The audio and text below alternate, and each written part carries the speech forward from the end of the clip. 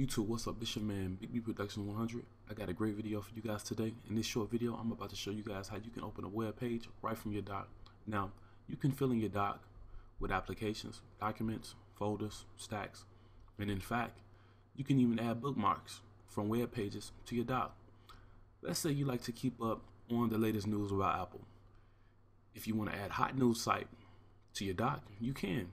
It's easy. Just visit the website whenever you like just one click. Let me show you how.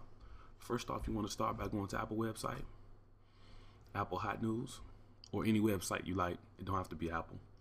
Real easy. Let me uh, drag this off of my dock here. Now, once you go to the website where you want to keep up on the latest hot news or whatever it is you want to keep up on on that website, you just want to take the icon that's in the left hand corner. In this case, I have the Apple HTTP icon in my left hand corner since I'm on Apple website. So I want to take that icon and just drag it down to my dock on the right hand side you can release it wherever you like, it don't matter. And you're done. So let's close that web page and let's see how it works.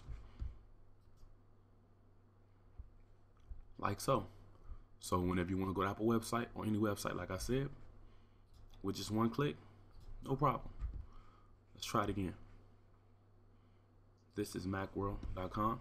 Take it, drag it and drop it, release, close that web page. Let's try it again. Let's try both. Drag them and drop to left hand corner or middle, bottom, right, don't matter.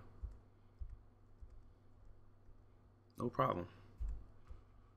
That is how you can take a web page, drag it down to your dock, and have easy and quick access to their site.